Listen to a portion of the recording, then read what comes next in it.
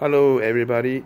Today we're gonna talk about uh, avoid using metal material in moxibustion treatment.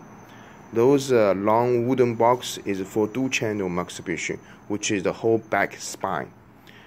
It's nice, look good in the wooden natural, but uh, the bad things is inside it's all wrapped with metals.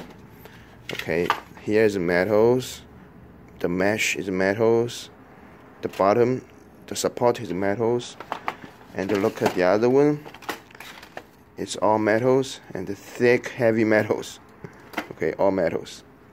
So the bad things of metal is is metals transfer the original moxibustion good heat into metal heat.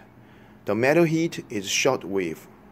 Uh, it does not they all produce they all can produce a good temperature but uh, the the wave, the penetration of the the, the heat are transformed from the original moxibustion into metals.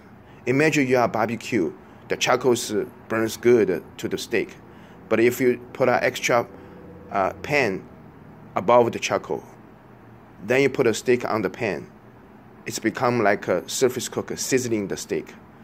So we don't want that happen into moxibustion treatment. Um, the other not good tool is this. It's a moving cupping and uh, warm moxibustion, electro moxibustion combined tools. It will heat up and you can rub on the back.